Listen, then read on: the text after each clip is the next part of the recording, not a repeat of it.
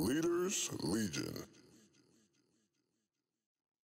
Alright, what up world? Hemingway checking in and man, your boy has finally done it, man. I finally completed my first promo tour. So as an artist, man, it's always a goal that, you know, I, any artist would be lying if they would say that they never wanted to go on tour, never thought of going on tour or anything like that. And now, of course, don't, you know, don't get, let me not sit here and cap like it was the biggest thing in the world. But at the same time, I set up a tour, I had some dates, a couple of them was pay to play, a couple of them I actually booked myself and put up some money, made a little bit of money, lost a little bit of money, but at the end of the day, I really set up my first promo tour, you know what I'm saying, to promote my brand and my latest my latest project, Still At It. So if you don't know, Still At It is out right now on all streaming platforms. You can click the link in my bio and you can check it out. It's six songs, it's fire as hell, it's all on IG and Facebook so you can add it to the music and the stories and everything like that.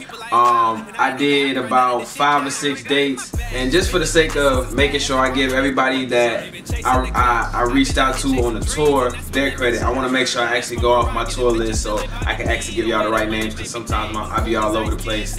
Yeah, so starting from the top, I did the Carolina Buzz, which is my event series that I created. That was on 420, my first show. That was in Charlotte. Then my second show was May 7th, and that was Superstar Tuesdays in Columbia, South Carolina. And shout out to Jasmine Phoenix and Superstar Team 803 that put that on every Tuesdays. Highlight them. Um, the Link Up SC, that was in Greenville SC. Shout out to the whole Link Up squad, everybody, um, Shay Star, So-So, and all them. And um, then I did the New Music Tuesdays in Charlotte. That was with the Coalition DJs. North and South Carolina Coalition DJs, man. Much love to them. They gave me hella feedback and, you know what I'm saying, hella insight on what they thought about my record. So, yeah, I'm to be sending them songs out to y'all real soon.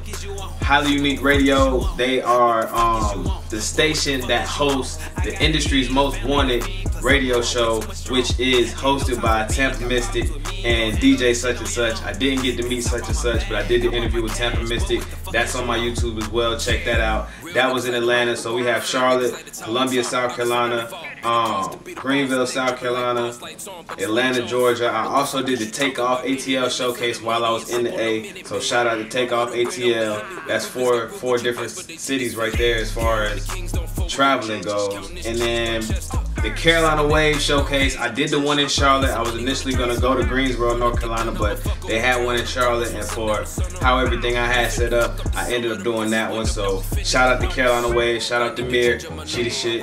Um, Fleet DJs. I didn't do the sound stage, but I actually did the artist spotlight where they had basically a big listening session for all the artists to play their music and to just basically get feedback and show love. Similar to what I did with the Coalition DJs. So shout out to the Fleet DJs, all the ones that I met there.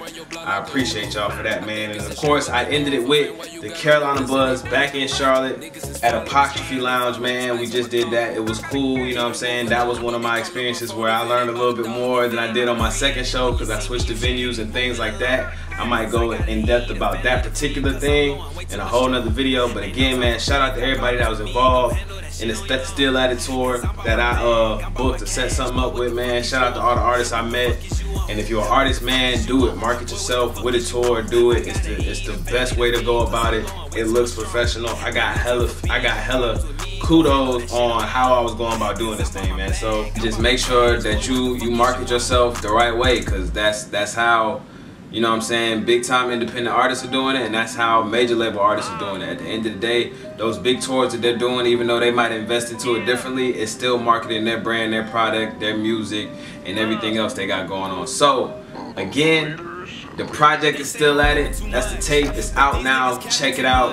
Um, shout out to everybody involved with that. I'm not gonna go on a list of names because I always give my credit, so you gonna see who's involved with it. Follow me on IG. Check out my YouTube. I'm always giving credit when credit is due to whoever was featured or produced or whatever. I mix and master everything, so you know, yeah, I get that one drop. But uh, still at it is out now. Y'all know I ain't gonna never quit. I'm still at it to this day. Make sure y'all follow me everywhere at Hemingway the Third. Until next time, I'm out.